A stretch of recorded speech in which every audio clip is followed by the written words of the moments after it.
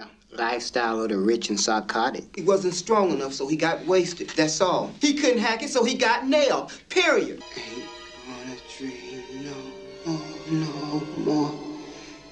Ain't gonna dream no more.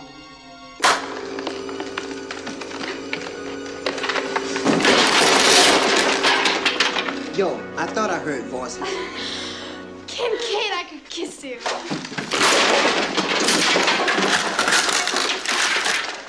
What's stopping you? Mm. Yo, Freddy! Where you hiding at, you burnt face pussy? Hey, we should find the others first. You think you hot shit with the little milk kid, don't you? Well, let me see you come get a piece of me. Krueger, pussy!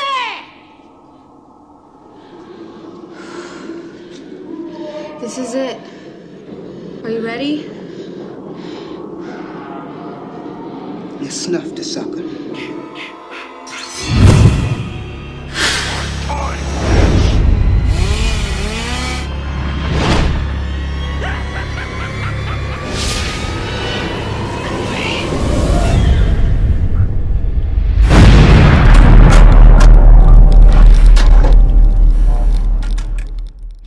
Joining us today, a man that wears many hats. He's an actor, a writer, producer, director.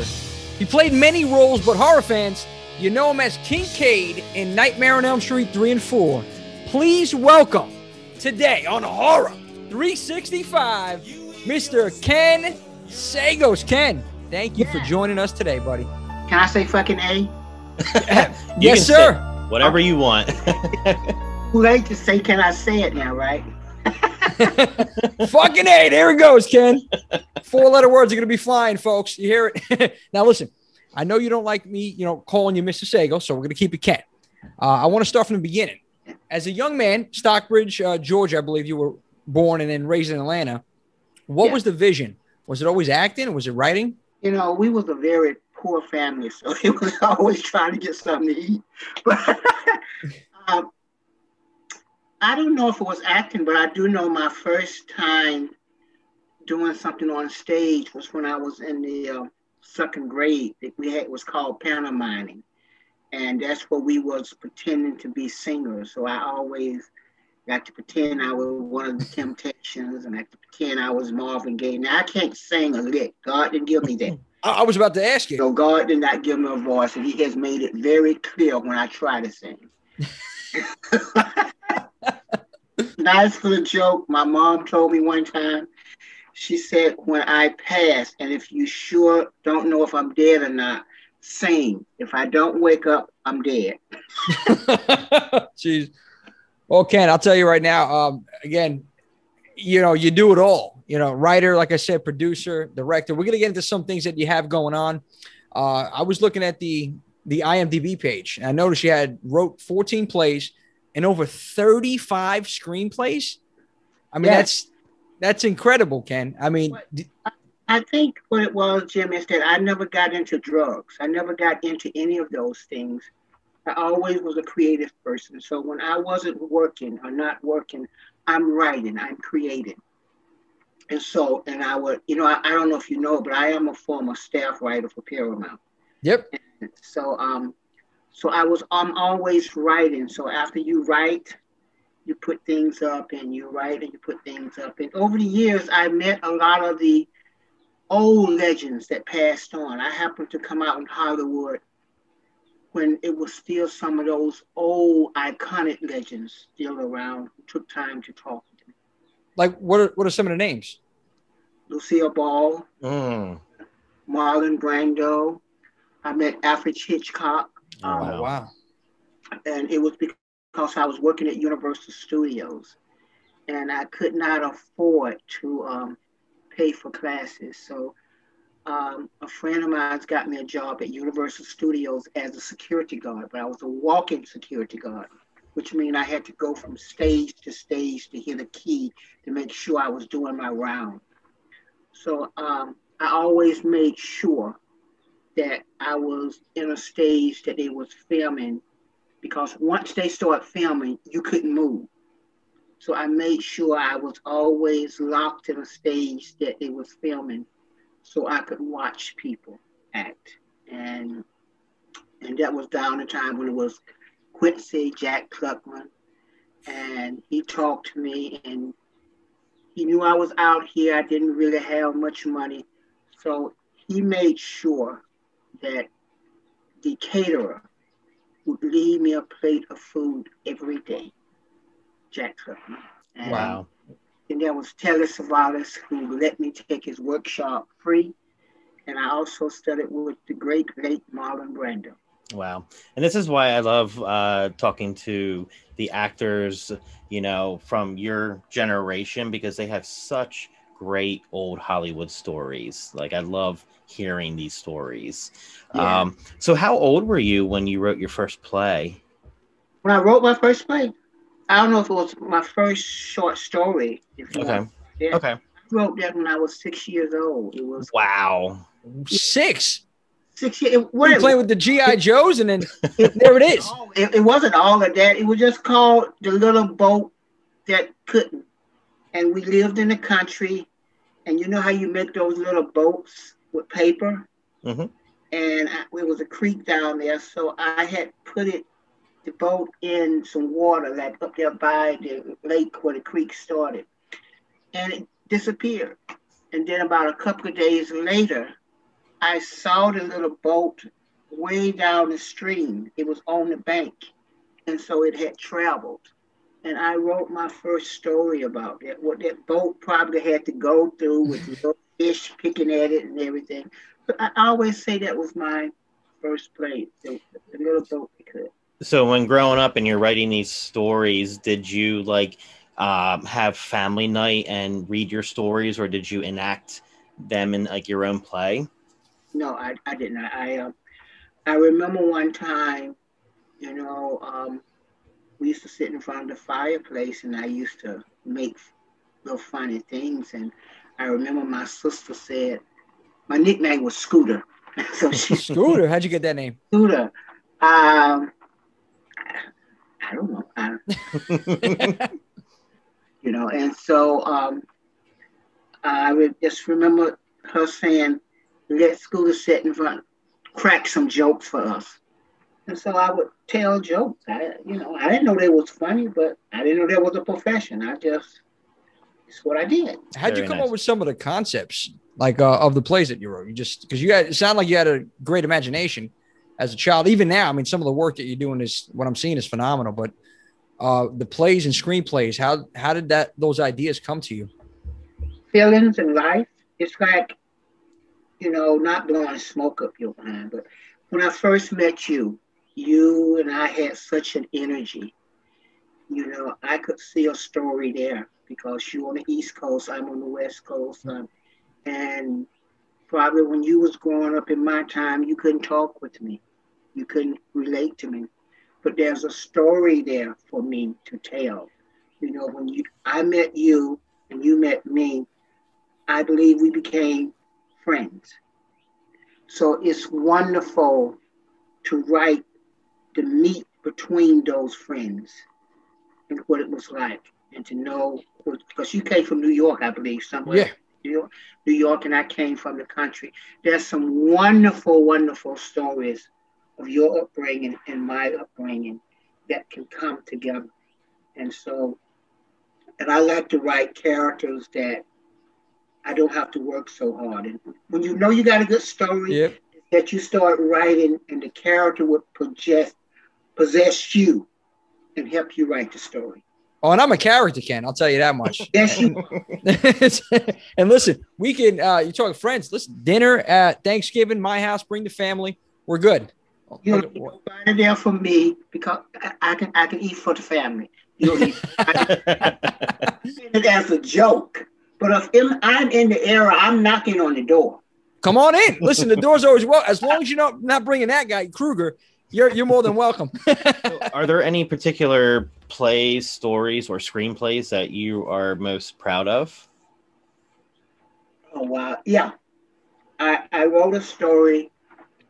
Uh, a lot of my stories are southern stories, but I, I wrote a story about um, one time this black guy went back to the country and he went fishing, and he there was an old white man there fishing, and this young black guy was a doctor, and that's what he did, and he started talking to this elderly white man who had a lot of on his heart, and he started confessing to the young black guy, and he told him that he had done things in his life that he was ashamed of. And he was the gr- former grand wizard of the KKK. Mm. And so, as they talked, and the white man's heart was so heavy, he said, every year when I got out of the Klan, I would send money to one of those scholar, those colored colleges. And so he talked about a man that they had killed. It turned out that was that man's young kid's son. Wow. Wow. Jesus. And then when he talked about the scholarship, that young man was a beneficiary of his money. So he needed forgiveness, hmm you know, and I leave it that you don't know whether he forgave the man or not. But he, Okay. That story is very personal to me because it's not a true story, hmm but it comes from true events. hmm Yeah. life, you know. And so, and, and so that's that's what it is. And I think a lot of the stories that I like to tell are grounded. Right. And um, I just like stories. I I, I I I enjoy writing comedy. I enjoy writing fiction. I I mean I enjoy writing the truth. I just enjoy the creativity of creating. I, I have a story about birds.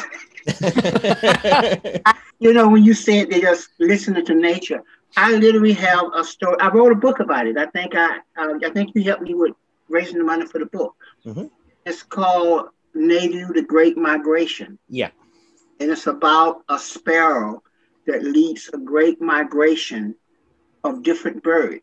And what I did is I used so many different birds. I used each bird and their flock as different races. So everybody could read it and not feel guilty. Man, I, I oh god. Listen, I gotta tell you, Ken, you write a lot of different things. Um, and, and I love it because, like you said, it's based on true events and, and things that are going on in the world today. And um, we're gonna get into something that you're working on now uh, momentarily. But I want to actually switch gears to horror, the horror genre itself. Like, what was your introduction into uh, the horror community? birds, oh, yeah. Okay. birds. That's why when I met uh, Alfred Hitchcock, it was, you know, you, you thought I was a mute, because I and um, and it, that was the first thing that I watched. And then the second movie I watched was Blacula. Okay. And I used to watch a lot of Vincent Price things that was coming up because there wasn't that many um, movies that black actors was in. And so um, that was kind of like my introduction. And if we fast forward to Nightmare on Elm Street, when I auditioned for Nightmare on Elm Street, I had never seen Nightmare on Elm Street. I didn't even know what Nightmare on Elm Street was. Did you know that the audition was for Nightmare on Elm Street? I knew that. I didn't want to go, and I and I, I had you know I, I didn't want to go because what they was looking for and how I looked, it was a waste of my time, and I had to go to court that morning, and I lost, and I had to catch the bus. So when I oh. went into the audition, Jim, Brian and Jimmy, when I went into the audition, I had such an attitude because I didn't want to be there. And that made you get the Kincaid role because They that thought I was acting. no, this is real. This is wow. This guy is great. acting, man. And you know, and that's what got me the role. So when I got home, my agent, this was pre um, cell phones and all that, you know, there was Alton, there was those big old Alton machine that looked like a dresser. You know? So and I kept it was about 30 something messages and it was all from my agent. And he was saying, Ken, call me, call me, you know. So and when I finally talked to him, he said, What did you do? And I said, well, I told you, David, I didn't want to go. and he said, "They love you." Word to the wise. That doesn't mean you go into every audition with an attitude, because it didn't work on the next one. While I was doing Nightmare on Elm Street, I was up for um, uh, Roger Rabbit, the voice. Uh, one of the really? Oh, Roger re- wow.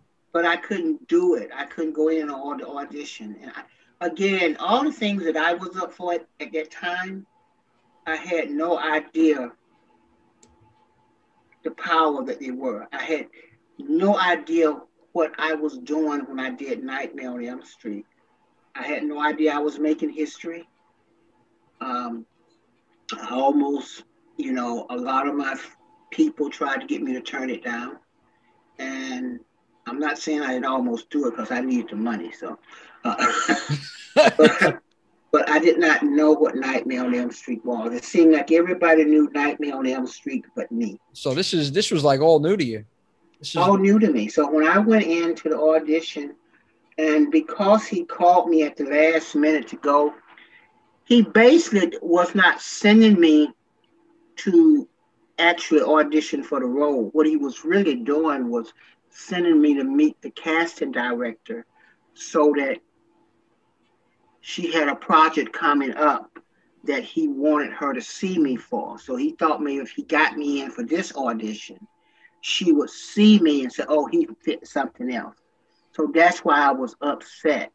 So when I went there, you know, I got the role. You know, I, I want to say that I was blessed, I was gifted, and I got the role. you know, Ken, you did get the role and you did a hell of a job. Um, in, Yep. in three and four, the best in the franchise, I believe, and I think many can agree. I also have to say, number three and number four has made technically the most money out Mhm. of all of them.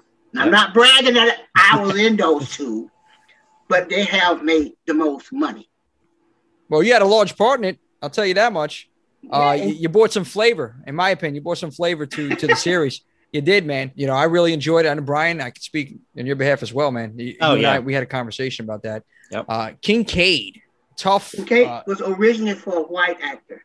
I couldn't see. a white no. I No. cannot see a white guy doing a Kincaid, No. man, because like, you were tough, man. You you were courageous. Um, you, you had a little short, you had a short temper too, but it, it just it fit. It fit so well. You know, you had a cast too. It was just an incredible cast in Dream Warriors. Uh, Yes. Of course, Robert Englund had the lagging camp, a young Laurence Fishburne, John Saxon, Patricia Arquette. I mean, the list goes on. Could you share any stories from behind the scenes with the cast?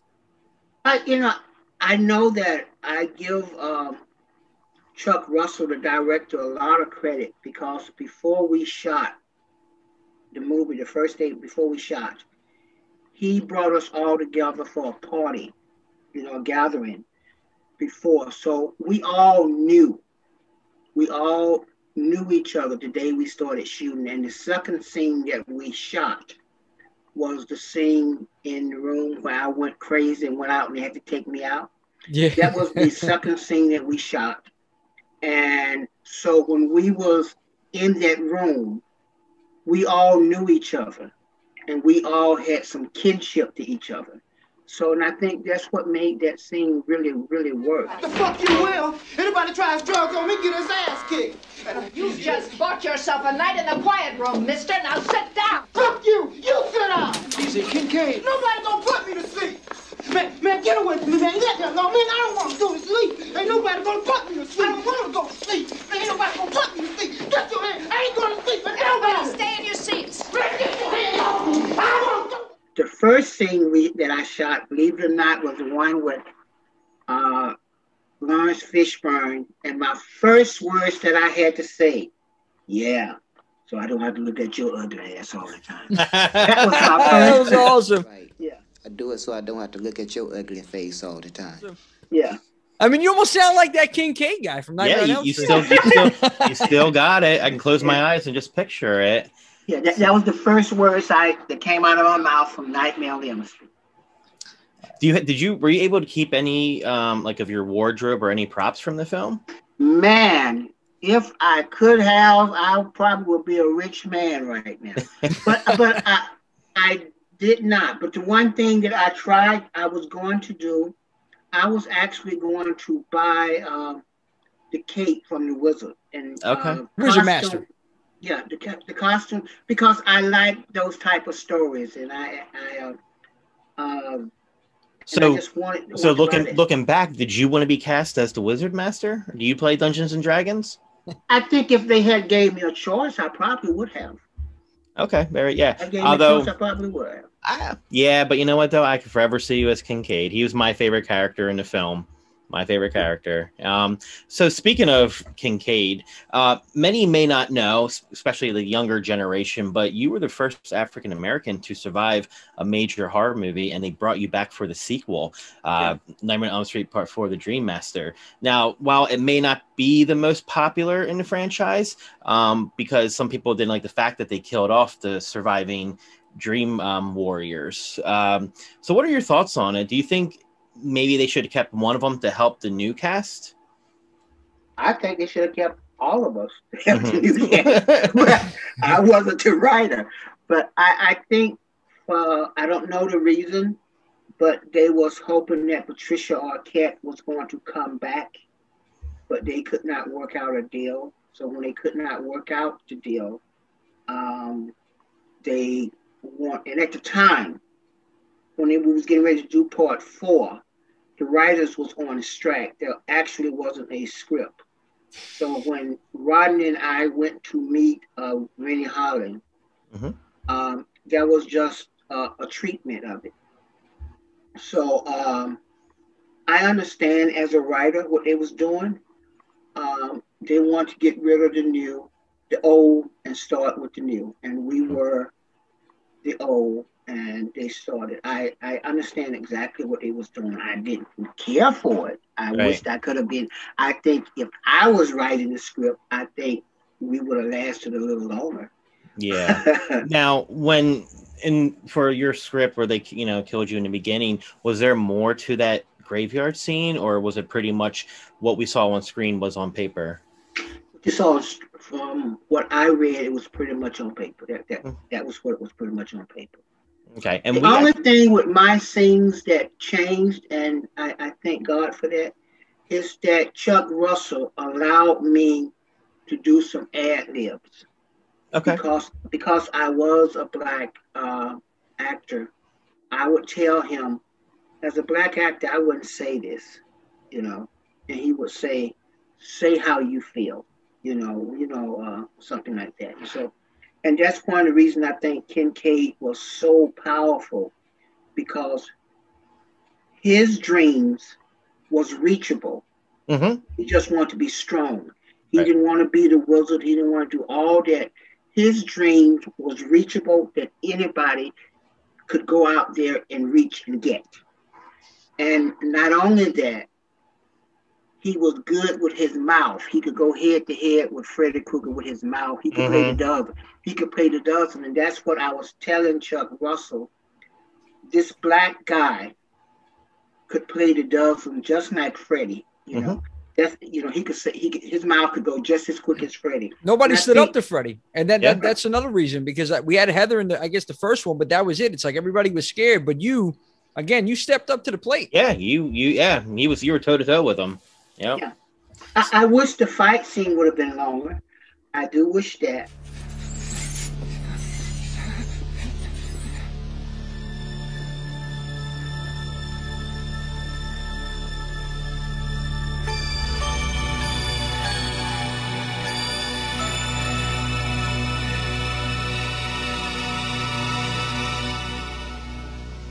You shouldn't have buried me. I'm not dead.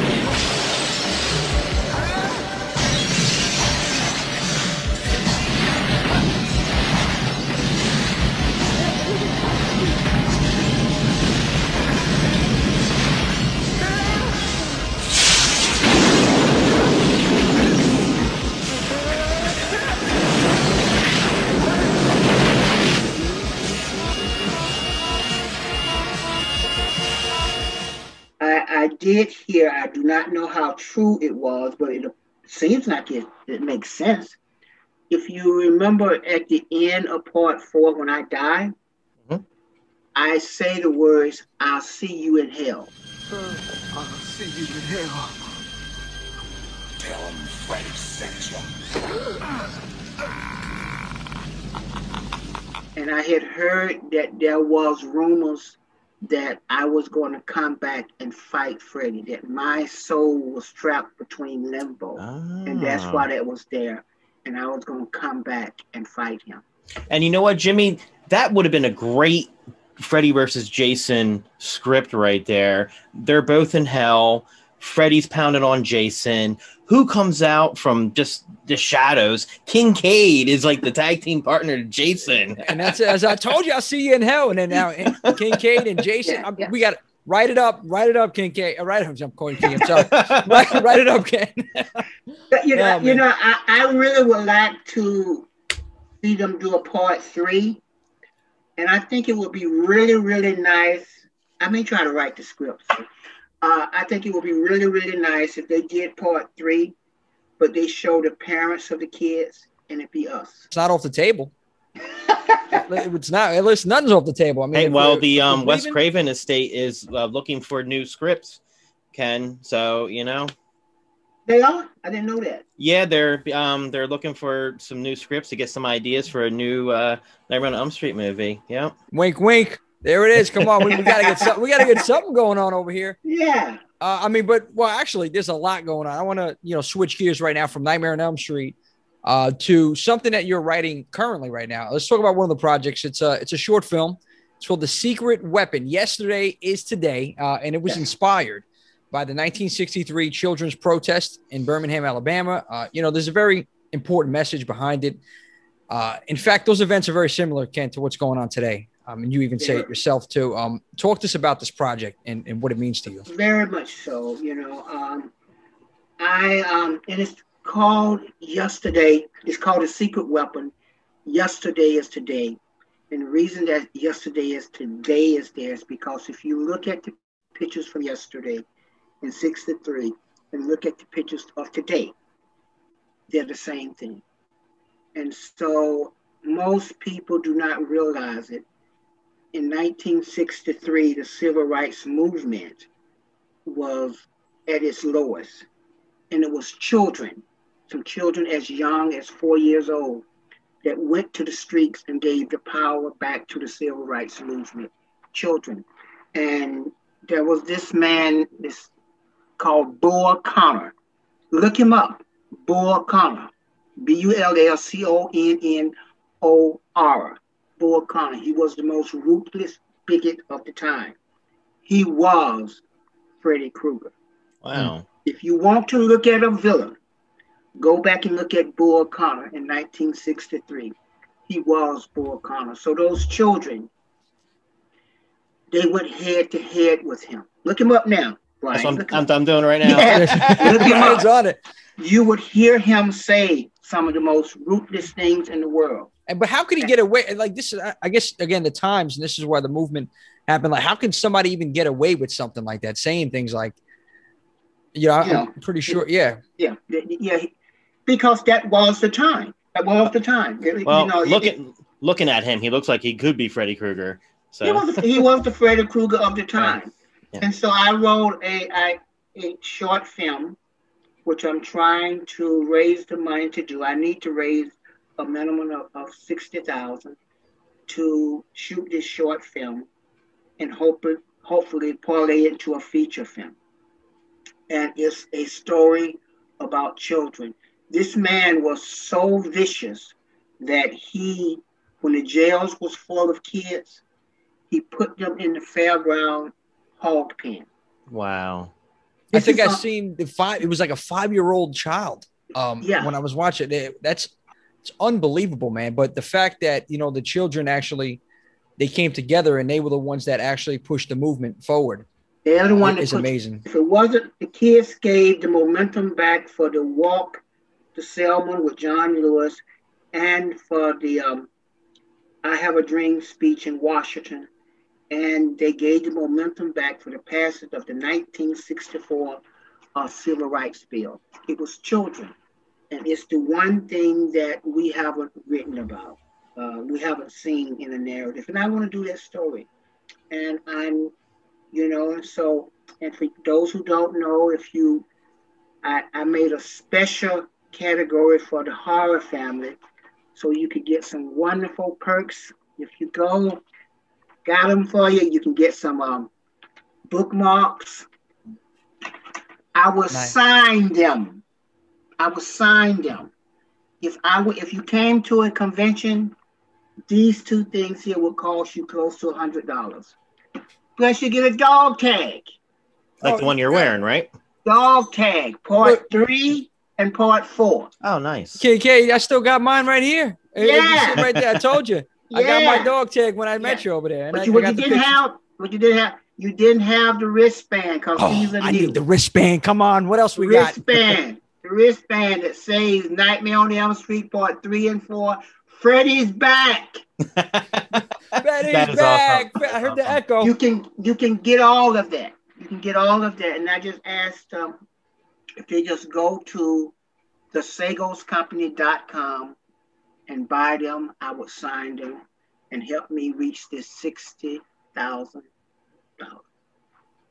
It's reachable. I know it is definitely reachable. We're gonna spread the word for you too, and uh, you know, we also donated. We got a uh, the perk. I forgot the perk that we that we purchased. Yeah. It was with the the bag, the book bag. Yes. Stuff like that. So we we definitely uh, contributed towards this, and we're just spreading the word for you on this as well. I appreciate it, all that you and Brian are doing for me to help me. You know. Oh, for sure. I'm gonna, I'm gonna, um, I'm on a lot of different film groups on Facebook, so I'm gonna share your your website, and you know, we'll, I'm gonna promote this podcast ahead of time, you know, so we can get the word out there earlier than when it will release. Yeah, because you know, a lot of people do not believe it's me that's trying to do this, you know, but I've I've always and also um this year I'm giving out, which is separate from this year. Every movie that I've done and every movie that I've written, I've helped put a, a kid through college. Mm. That's what I've done. And so this year I'm giving out 11 scholarships. Oh, wow. Oh, wow. Aside from this year. And it's because, you know, I realized, and let me say this to the horror fans. I have to say this. I realized that, you know, you all praise us actors and say all these wonderful things about these actors, but really, we will be nothing without you. We're nothing without you. So I, I, I sincerely thank you, and that's why when I go places, I try to be humble and I try to be there and talk to everybody, you know, because I'm who I am because of you. I can say you can say whatever you want to. You was this, you was this. You had great talent. You had this here. But if you did not like me, it would just been great talent with an ed at the end of it. well, listen, I want to thank you for that for that statement, and and uh, the horror fans, I speak on their behalf. I'm sure, and the community, we definitely appreciate you. Uh, nah, for sure, Ken. I mean, you're a stand-up guy. Met you, you I mean, you choked me out, but it was great. It was a great experience. Where was wait I? Wait I, I missed what, what, that. What, where my girlfriend at? Uh, somewhere. somewhere in the, in the in the other room over there. She's making something. I smell it. it smells good. It smells like okay, because you know I have, I have to make sure you treat her right. I like her. Hundred percent. Okay.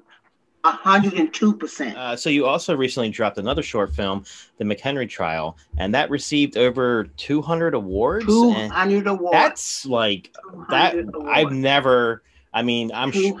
I don't know of any other project offhand that has won so many awards. Um, it's clearly, it's clearly an international short. Now, if I can get to put. Get, get the studios or independent money to say that it's going to be a uh, feature film but yes, it has won over 200 films. I think it won six in Spain.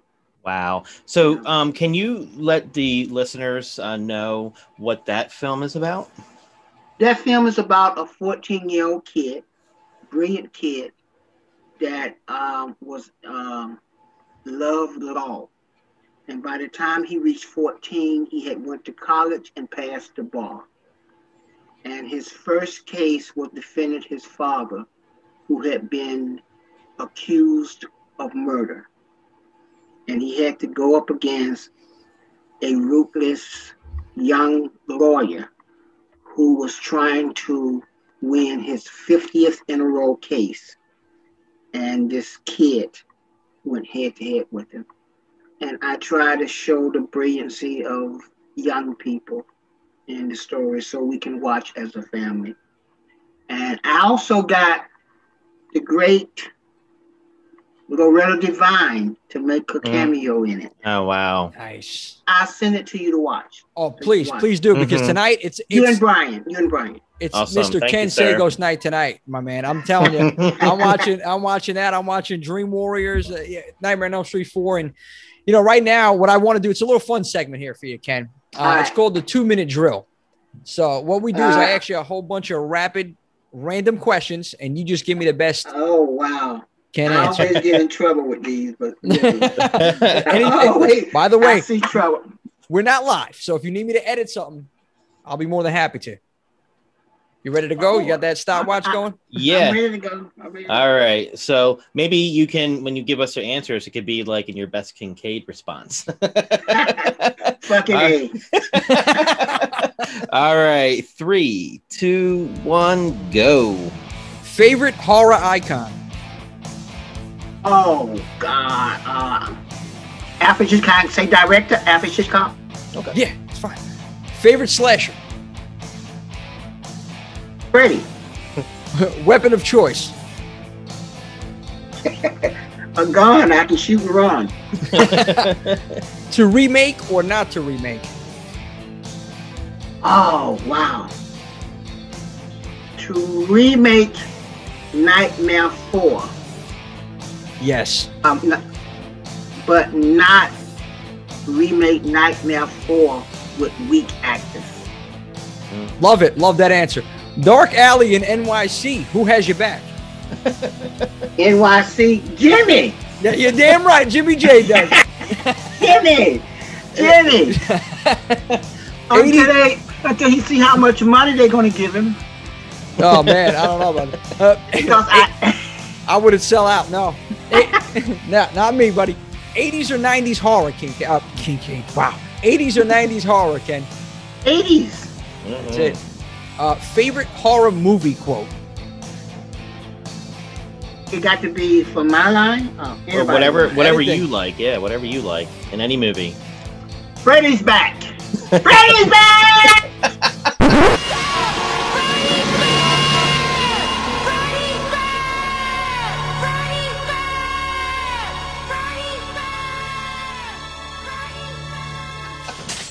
Love it. Oh, love it. Best You- you horror sit voice. down.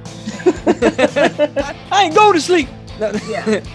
Best oh, uh, that's my dick that's killing me. wait, wait, I think, Universal monster. you want to know? You want to know a secret? You want to know a secret? When I was saying that's my dick killing me, yeah. I couldn't remember my lines, and it was written here, and that's why I was Oh. saying, "Oh, that is my dick." See, when you when you watch it, you go look at that now. And we Oh, yeah, got time, but I'm gonna add another 20 seconds on it. Yeah, we got to add 20 seconds here. Okay, so um, this is probably not even a question here. Favorite Nightmare on Elm Street. Three That's Mhm. it. If you can make any horror movie come to life, which would it be? birds. Mm. And is there any uh, horror movie crush that you had? that I had. I Have can't or tell- have?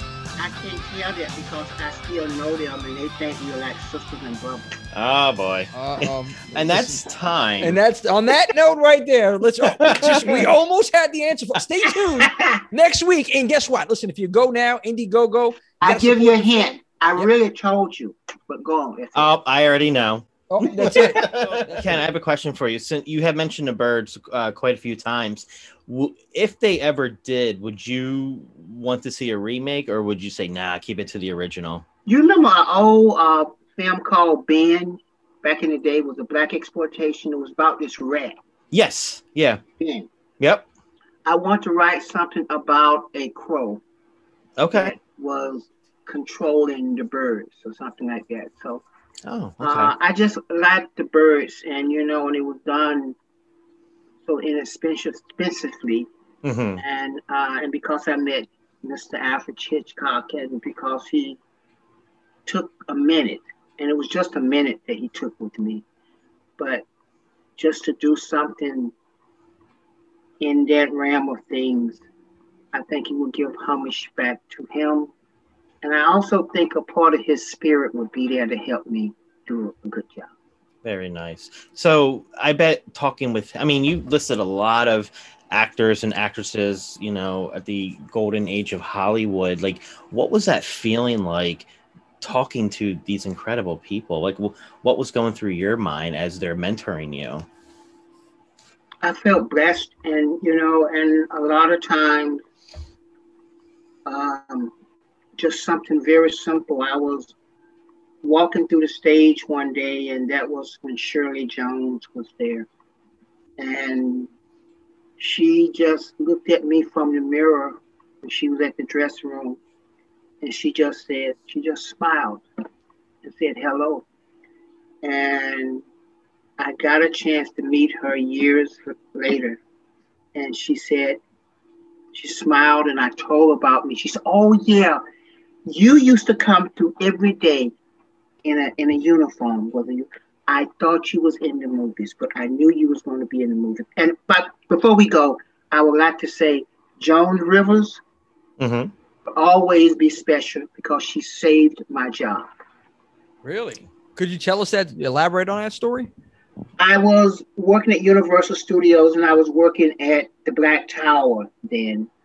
Um, that was big, big place to work. That's where all the big stars came through. And so I was there, and that was at a time when a lot of impersonators was impersonating act, uh, these big actors and trying to get on this lot. And so we was told that if the actor did not have an interview, do not let them upstairs. And Joan Rivers came through and I spoke to her and she said, You have the cutest little southern accent. And she grabbed my cheeks. By, by the way, I was so tired of these white women grabbing my cheeks doing this. And, you know, and they all say, You look just like Gary Coleman. I, uh. Oh, sh- anyway, she talked to me about 20 minutes and she went upstairs and the lady found out that she had been down there talking to me. So she thought I had held her up. Mm. And so when Joan Rivers went upstairs, they called and told me I was being released from that post. Wow. So I was packing my things to get for the released person to come and take over. And Joan came through and she said, You hang in there, okay? And um, I told her I was sorry if I held her up. And she said, What are you talking about? I explained to her what happened. She did not say a word. She went back upstairs, and about five or 10 minutes later, they called me and said I wasn't being taken off that post. And when she came back down there, she said, We told that tramp, didn't we? and, and once I knew we was going to talk about this, I would show you the letter that she wrote me one time. Uh, that she remembered the story and everything. Wow. I, am gonna send it to you, Jamie. I'm gonna send it to you. I'm gonna send you a send copy it. of That, that letter. that's incredible. Joan That- Rivers. She said, "Sure, I remember that time." Wow. I mean, you know, it's it's crazy. You know, sometimes uh, you know myself, like you meet individuals and you don't know the kind of response you're going to get back from them. Um, you know, like when I met you, it was incredible, man. Uh, it was a blessing. Um, and a lot of people, some other people, I'm not going to mention names. It wasn't, it wasn't what I thought it was going to be, and it was total opposite, even so. But like, you know what? Uh, fans look forward to uh, to meeting you know, celebrities, people that are in movies and stuff, and all these horror cons and conventions that are going on. That's how you know you and I met. Um, Do you have any experience or stories, I guess you could say, from uh, from the fans interactions with you Like any at these conventions? when I first did this thing, uh, the horror convention, it was actually at Cherry Hill, New Jersey, oh yeah, Monster Mania. and Monster Mania, and it was this big, tall, I want to say six foot seven biker came in, and I, I'm gonna get in so much trouble. And he came in, he said, "You my fucking hero," you know, giant telling me I'm his hero. And he said, man, he kept saying he called his woman. We drove a motorcycle. We drove a hundred miles to see you. And she she wants your autograph, man. Would you autograph? You, you autograph it? And I just said, yeah, I, I, it's what she wants you to autograph. Autograph it, right? So I said, yeah. So he went back. He came back with two other bikers. and this healthy woman stepped in front of him. And they had on these coats, right? And they held these coats up like this here. And she plopped her breast down in front of me. Oh my gosh. And she wanted K I N on one side and C A I D on the other side with a mark. And I said, like, I can't do that. And then he said, Come on, Kincaid, I'll give you a hundred dollars a titty. And I said, uh, which side do you want me to? okay, I'm gonna get in trouble with that. Y'all gonna That's that's funny. Is that a hundred dollars a titty? but we got it? It's, well, this one's a li- I don't know. This one looks a little bigger than that one. It might be one twenty five. Well, you know, if if if Joey from part three and four was there, he'd be all in it because you know gets the the boobs get him in trouble. I, I, I don't think so. the boobs get him in trouble. No, they, they wasn't very attractive. I, I, I don't think so. So I, I have, I, but yes, that was my first experience. wow. Yeah, I believe there was also a lunar eclipse that night. Uh, anyway, um, no, but there was a you know that, it's cool about these conventions. Um, you know, I enjoy going to some of them, and I've only been to a few, uh, but it was it's an experience, man. Let me tell you this here: the horror community, to my experience, they are the most loyal group of fans anyone could have. Yeah. Yeah. It's it's nice. I've I've been to like maybe half a dozen conventions and you know, sometimes the lines could be long and you just start talking to one another. I've met a lot of great people and still stay in touch on social media and I have like a little horror family. Yeah, they're very nice and respectable. And so, but I, I have to say that they have been very helpful. So, but uh, also, Jimmy, I need to get a minimum of 300 sales. I'm like at 31 now.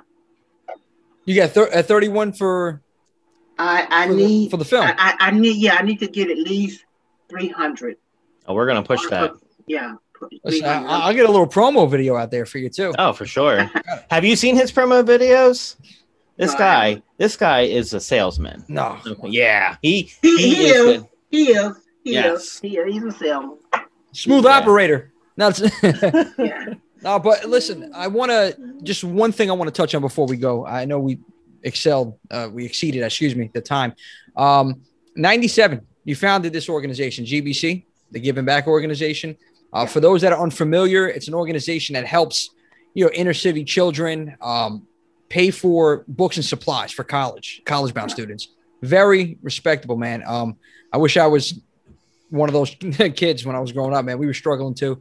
Uh, there's so many people struggling though nowadays, uh, and it helps. It really helps people stay out of trouble as well. What inspired you to create this corporation, and can you tell the listeners how to contribute, how they can contribute? I, you know, I, I see. I'm just a wealth of stories. I like to tell stories. When you remember when you get me all those stories to have to tell, and it, the birth of it, um, came from my high school days in Atlanta, Georgia, in the Bluff area of Atlanta. And when I used to go to um, school in the morning, me and my buddies, there was this elderly lady that was um, collect, you know, going from house to house with a fruit jar, begging for money. And we used to joke with her. She was going from house to house. She was asking for money. And we called her names. We joked with her on the way to school. And when we come back from school, she would be blocks away, still begging for money. You know, we would still be doing our little thing. And then, because we were seniors at the time, and then when we was going off to college, and the day before I was to go off to college, this lady knocked on my door and the other kids' door, and she gave us money to buy our books. Mm. So she was never begging because she was hungry. She was not begging because she needed. She was begging because she said, when these kids go to school, I want to be able to make sure they could buy their books. So the joke was on us. Mm. Wow. And so when I went off to college and I want to come back and thank her, and she died, I think, 10 days before I got back. So I never got a chance to thank her. So each year I try to give at least 10 little scholarships in honor of her. So that Mhm. was the beginning of it. And throughout the years, I've had people that God has blessed and put in my life. And so I continue to do that. And I continue to help these youth. And I, because I didn't have during the summer, when I can, I send at least 50 kids to camp because I could not afford to go to camp when I was a kid. I couldn't afford to have my books when I was in college. So I try to make sure that I send a kid to camp and I buy a kid a book. And that's just it. That's that's amazing. That that's that's incredible, Ken. Honestly, um, and I know that she's she's watching. You got an angel. I believe in that. Yeah. So it- it's it's a real blessing, honestly, what you're doing out here. Not a lot of people uh, would do that, and um, you're going above and beyond for for the children. Still get blessed. I, I I think I'm blessed because honestly, I know you're gonna say this is why, but I meet good people. I meet you. I'm talking to Brian. I meet good people, and at the end of the day, we may not agree if we saw each other every day, but at the end of the day, you know, we have each other, and so so far, I'm grateful to say that giving back has helped more than 600 kids through college. There are some doctors now. I have Mm. adopted a few of them as my son. And as a matter of fact, one of them is about to become a professor at Pepperdine University. Oh, wow. And, Congratulations. Yeah, and then there's a doctor, and then there's a lawyer, and there's several social workers. So they're out there, and I, you know, and it's a good feeling. hmm Good feeling. For sure. Oh, listen, I appreciate those kind words, Ken. I mean, listen, I'm going to agree with you either way when I see. I don't want to get choked again. So it's just not.